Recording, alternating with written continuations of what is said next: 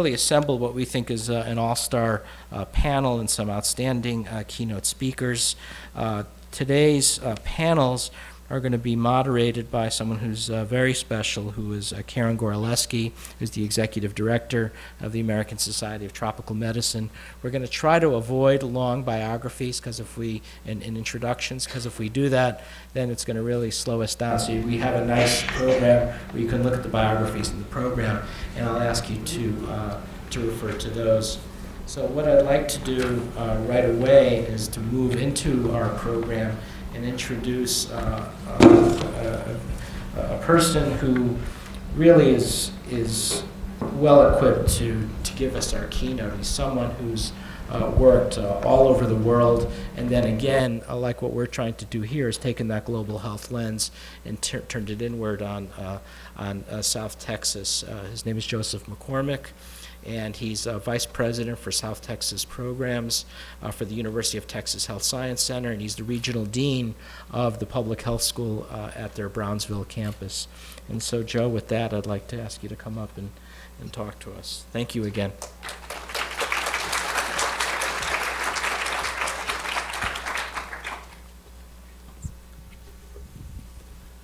Thank you very much, Peter. It's uh, a real pleasure to be able to uh, join you for this uh, for this symposium and to talk about something which is, uh, as Peter suggested, I've spent much of my life doing, including our current work down in, in Brownsville. Um, I want to thank uh, Research America as well and all of the uh, the organizations that have put this together and supported it. Um, how many people here live on two dollars a day?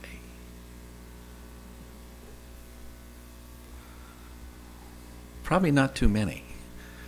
And yet, as Peter has already pointed out, much, many of the diseases that we are going to be talking about today um, affect those that are among the poorest, those who live on one or two dollars a day. So I, I want to argue that global health is in fact, yeah, yeah, sure, go ahead. Global health is, is not just about diseases. It's about human beings. It's about people. It's about providing an opportunity for every one of those children you saw in those pictures to live beyond the age of five years, to get educated, and to be able to, um, to be able to fulfill their life expectations. Currently, we have about a third of the population of the planet who who have great difficulty in doing that. And that's to me what global health is about. So whether it's about uh, the neglected tropical diseases or HIV or tuberculosis, or as you will see in one of the panels, the emerging problems of chronic disease and how it's affecting people's lives, including children, because of the, of the poverty that it can put people in and the difficulty in, uh, in raising their children. So there are many, many aspects of global health that should engage all of us because uh, they affect us uh, economically, they affect us politically, and they should affect us um, emotionally because they are perhaps the remaining, one of the remaining um, problems and issues of trying to make our entire globe a civilized and peaceful globe. We've made progress. And I would invite you to look at, uh, at Hans Rosling's uh, um, presentations on Gapminder. For those of you who, uh, who don't, do not know about uh, Rosling's work, he can show you where we've made, in, in many instances, tremendous progress.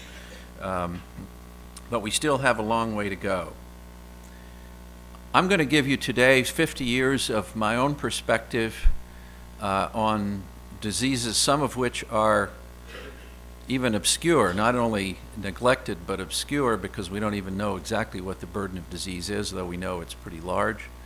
But I also want to show you that many of the diseases, including HIV, um, in fact, were neglected for quite a while until, and I think this is par probably part of the whole effort of looking here in Texas and in our own backyard, until it hit us t- speaking obviously of HIV, and I'll describe to you the first investigation in Africa of HIV and tell you a little bit about the response that was given uh, by our uh, political leaders at that time. I think what we all have to do is to, is to be vigilant, persistent. Don't let politics, wars, prejudice, fear, and other things uh, deter us from working in, continuing to work toward uh, global justice and um, an improvement in the lives of people that we uh, know are out there who need, um, who need all of the help they can get. And it's very interesting when I uh, use these words. Tomorrow, uh, Sue and I will get on an airplane to go to Karachi. And uh, we have a program there. We, we spent four years in Pakistan uh, back in the 90s building a program uh, there. We continue to work with some of our students in a new program. And I was struck by the obstruction by my own university in getting to Pakistan. We had to sign our life away because not because somebody was that concerned about whether we were going to get kidnapped or whatever, about liability. And this is what I mean about persistence and vigilance and not letting all of these kinds of obstructions get in our way, doing what is what we should be doing, and that is working and continuing to build programs in, uh, in far reaches uh, of the, the part of the world that need uh, all of the partnerships that we can provide. So as Peter said, um, we're now down in South Texas trying to uh, understand the problems and issues of South Texas. Um, but I'm going to talk to you about 50 years of observation. Um, in, uh, I'll be talking about uh, Lassa fever, about Congo Crimean, which some of you may not even know about, hantavirus, meningitis in Brazil, which has a lot of implications, um, Ebola in the Congo, HIV in the Congo, but I'll start with this famous quote, which uh, uh, I think now is probably pretty well ensconced in the lore of infectious disease. When the uh, Surgeon General said in 1967 the war against infectious disease had been won. So perhaps if you were living in Washington, that might have been the case, but if you were living in many other parts of the world, you would have thought the guy was mad. So my story starts in uh, 1967, that same year that, uh, that the Surgeon General made his comment, um, I was a school teacher. I'd finished my undergraduate degree um, and uh, went out to the Congo uh, and spent some time learning French, went out to Congo to teach school, science and math in high school. And this is the area where I was, where that red dot is in the middle of the, uh, um, in the middle of the uh, there, and then later I went down to teach uh, school in another high school down below, and uh, I taught local students who came mostly from villages where there was no electricity, no running water, and uh, they came and they lived on the campus there, often in in rooms that would uh, that were perhaps 12 by 12 feet, and we would have 12 or 15 students uh, living in that room. But they were desperate for an education. They knew this was their opportunity. I have to say a word about Texas as a, uh, uh, as, a, as a site of tropical disease because many of you, but perhaps not all of you, will know that yellow fever um, has uh, part of its roots in the United States in Texas. And uh, it was, in fact, in Brownsville at Fort Brown where, uh, where um, uh, Dr. Gorgas um, first had his encounter with yellow fever, and he had that encounter by getting yellow fever and almost dying from it. And uh, as a young uh, physician lieutenant in the, uh, at the fort in Fort Brown, and you see now that uh, University of Texas Brownsville, where we sit on their campus, uh, is in fact continues to utilize part of the buildings that were built now 100 and, over 150 years ago. So let's move to Brazil, 1974 and 1975. Uh, Brazil, Sao Paulo is a huge city. Um, and in 1974 and 1975, there was an enormous outbreak of meningococcal meningitis. Perhaps one of the largest, if not the largest, outbreak in history. Um, we think there were well over 100,000 cases uh, throughout the country. Um, the Emilio Ribas Hospital that you see the picture of here, um, that you see the picture of here on the right, is a 500-bed hospital. And at one point, uh, as I walked through the hospital, there were over a thousand patients with uh, severe meningococcal disease in the hospital as the country was desperately trying to uh, address this, this issue that was causing uh, panic and, uh, and disruption throughout the country, not just Sao Paulo, but throughout the country. At one point, I stood on the steps of the Emilio Ribas Hospital uh, in over half an hour counted 11 ambulances coming in uh, with suspected cases of meningococcal disease.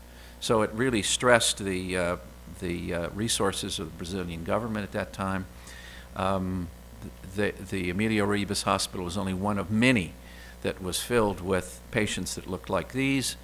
And uh, what it generated was the first opportunity for testing the vaccine, which had been invented in the U.S. military um, uh, by, by uh, Mal Artenstein in the U.S. military uh, because of outbreaks in the military. And uh, the Mérieux company in, in Lyon, France, uh, began to make the vaccine, and uh, to cut a long story short, 80 million doses of the vaccine were given throughout Brazil. I had the, the opportunity to work with Brazilians over two years with this program. And uh, what we learned was that, uh, first of all, there were huge disabilities, amputations, uh, neurologic deficits. So this is a devastating disease. It is a very, very bad disease. But ANC polysaccharide vaccines were effective in controlling the epidemic. Um, and that was the first really big opportunity we had to, uh, to learn about that.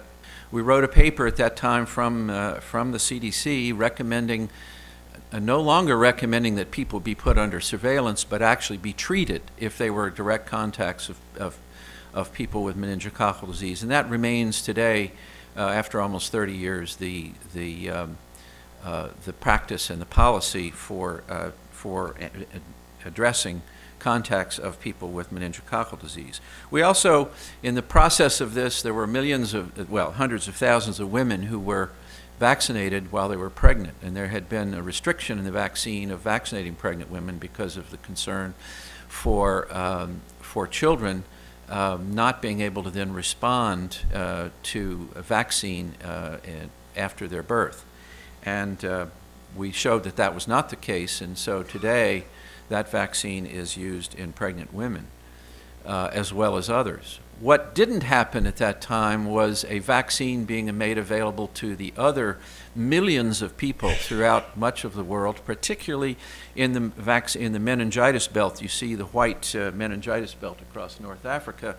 So, what didn't happen was the uh, development and application of a vaccine um, in that part of the world. And it wasn't until in 2010 finally, when the Gates Foundation and others stepped in, that a vaccine, uh, combined ANC uh, conjugated vaccine was developed and is now slowly but surely being applied.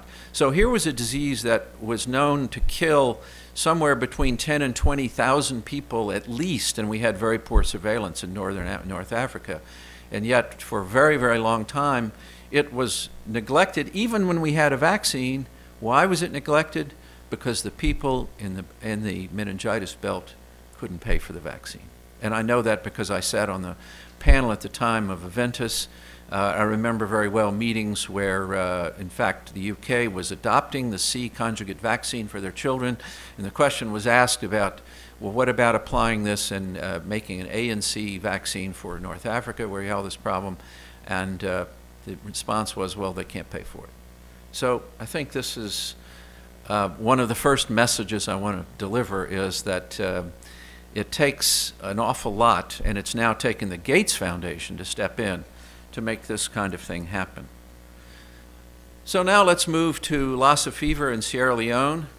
In 1969, two years after that famous quote by the, uh, uh by the Surgeon General, um, the uh, uh, the Andromeda strain emerged. You can look at uh, New York Times and all sorts of newspaper headlines during that period of time describing uh, Lassa fever as the new Andromeda strain. It came out of, uh, actually, the, the, the, initial observation in the U.S. came out of uh, out of Nigeria when a, when a Nigerian missionary ended up in New York.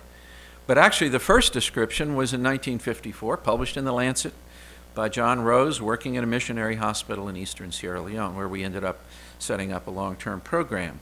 Uh, this is also the diamond mining area, as you will see. So in 1969, uh, we actually got the disease that, were, that uh, came to the U.S. itself. And that, I think, uh, that and the fact that it occurred in many missionaries in Nigeria probably woke people up to maybe this is, there's something to this. And it ended up because the fact that Jordi Casals at Yale got infected from the material from this, uh, the nurse who came over and was in Presbyterian Hospital.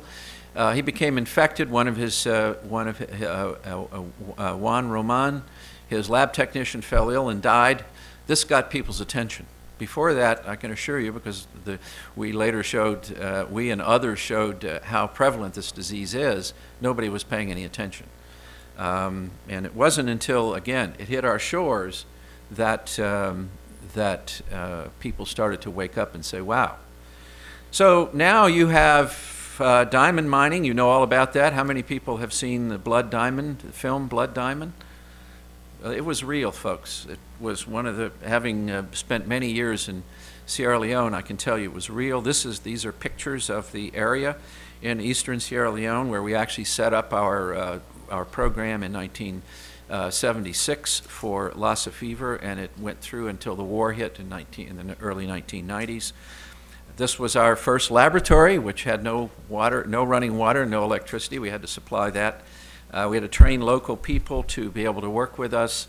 We had to set up surveillance at the hospitals to try to understand the disease um, and try to study it. We, we knew very little about it. We knew that it was this terrible killer, but we didn't know very much about what it actually did in the villages and, surrounding areas. Uh, how many people didn't get hospitalized but in fact got infected. What we learned in short was that there were cases coming to the hospitals where we set up our surveillance uh, all year round and uh, that it was in fact uh, what the it, it, it produced 27 percent of the medical admissions for the uh, for the hospital amazingly. So it was very very highly endemic with lots of infections both th that got admitted to the hospital about 16 percent died and uh, but many more infections in the villages as we set up surveillance around the area we looked at uh, prevalence of infection throughout uh, many areas of West Africa, and you see the ranges here that we saw anywhere from 5% all the way up to a quarter of the populations. And, and we had some pretty good size uh, samples from these populations. Um, we also showed that this is probably the most common cause of acute onset deafness of almost any, if not any, disease on the planet. About 20, 20 over 25% of people end up with uh, acute deafness from this disease, many of whom do not recover their hearing. And this is an example, a, a nurse in Nigeria that we, uh, when we were doing investigation there, who was completely deaf. She survived the disease, but was completely deaf. So what did we learn? Well, first of all, there is a big burden of disease because Lassa fever covers about an area of the, a population of about 200 million people. Um, we have estimated, but we, it, this, is a, this is an estimate based on our prevalence and on our own experience in some, in some, with surveillance, about 200,000 infections per year, somewhere between 10 and 20,000 deaths. I promise you if we had anything close to that in the United States, there would be a lot of attention being paid to this disease. Transmitted persistently by Mastomys natalensis, a common rodent, uh, but it also is transmissible from person to person. It affects all, the, all ages, it can be prevented by, prevented by rodent reduction, but that's a very tough call in this part of the world. Uh, it causes 100% fetal mortality, um, and as I mentioned, it causes uh, a high frequency of deafness. It can be treated, as we showed with ribavirin, if treated early, but I can assure you in most uh, instances people don't have the diagnostic capability um, and often don't really know that much about the disease because it's been very difficult to disseminate it. What's perhaps more discouraging is that we've had a candidate vaccine now around for over 20 years that clearly works in, uh, in primate models.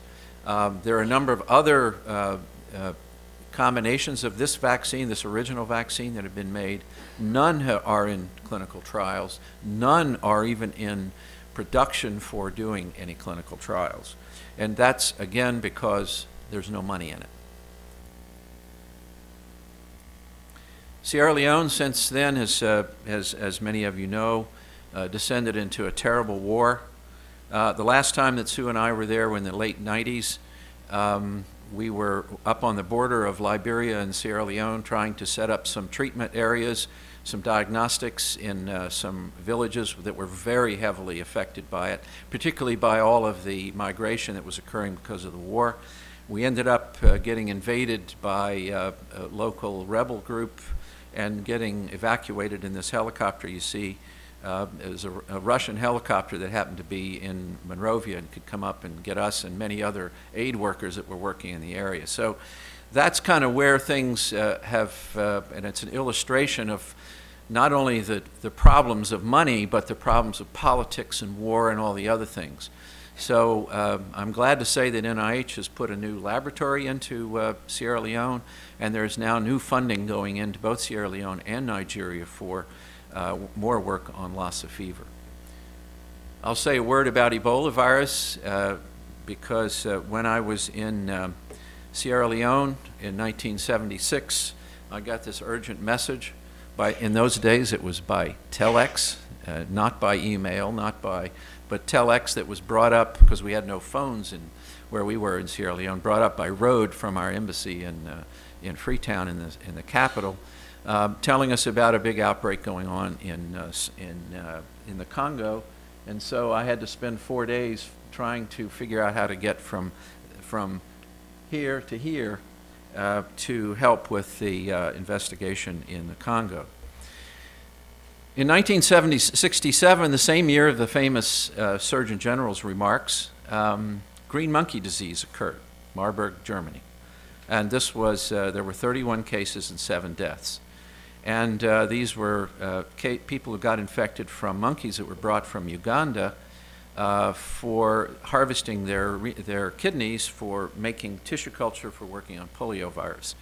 Um, and these monkeys carried some presents that were some gifts that were not anticipated, and uh, so a number of people got infected with this new virus, and seven people died. And a new uh, virus called filovirus was, uh, was, was found and um, then in 1976, as I mentioned, when I was in Sierra Leone, the uh, word came that there was an outbreak of some kind of hemorrhagic fever up in the, the area of, uh, of uh, central Congo.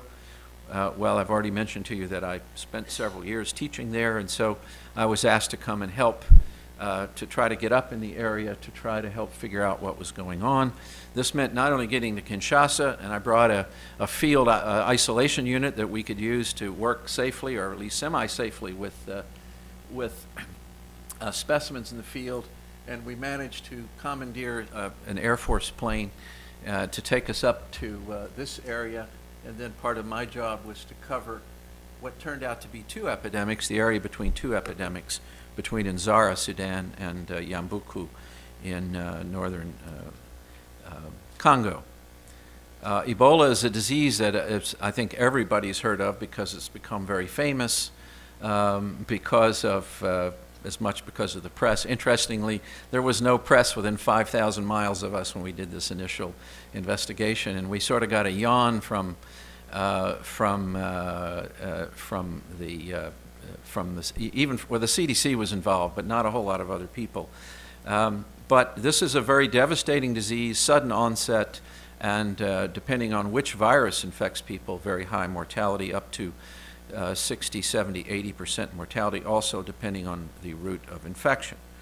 And uh, so we had a team finally that got up to uh, these, this area of, uh, in very, very remote area of northern Congo, and up into Nzara to try to understand what was going on. This is the main road between Sudan and uh, Congo, and uh, that's the areas, that's the kind of area that we were working in, and uh, this is trying to piece together all of the information, going through a number of different languages um, to understand what occurred. And the long story, the short story is that This was primarily a, an infection that was brought in by an index case, and we never could figure out exactly who the index case was in, in the Congo, but it was promulgated by poor practices in this little clinic. And uh, this, in what you see in blue in this uh, epidemic curve, demonstrates the, um, the epidemic uh, in people who were, went to the hospital or the clinic rather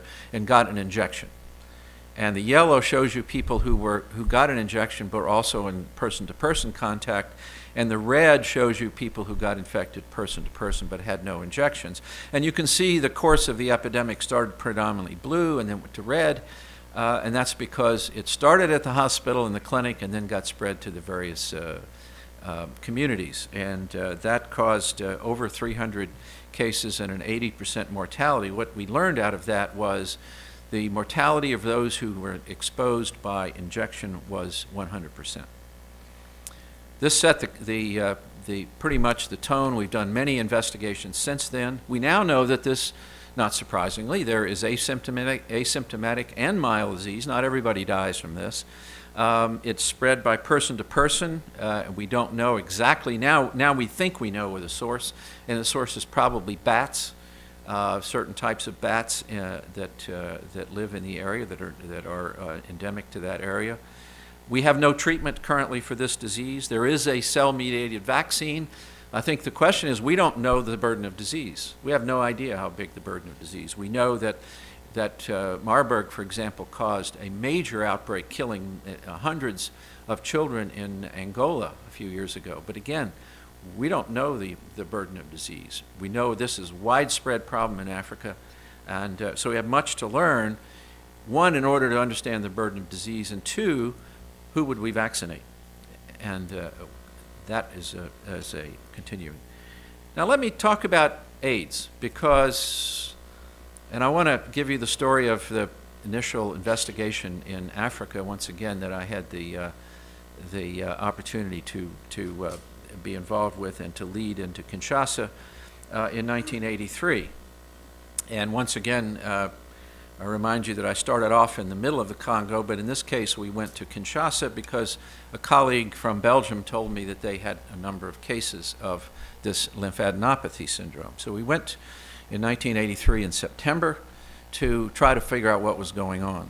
And uh, we used the clinical definition that had been developed by that time, but I remind you there was no virus um, around. And uh, we went to the Mama Yemo Hospital to look at um, what was uh, going on and uh, found that um, there were 38 cases that fit our AIDS definition. Uh, we saw a lot of uh, cryptococcal meningitis um, in this uh, particular outbreak.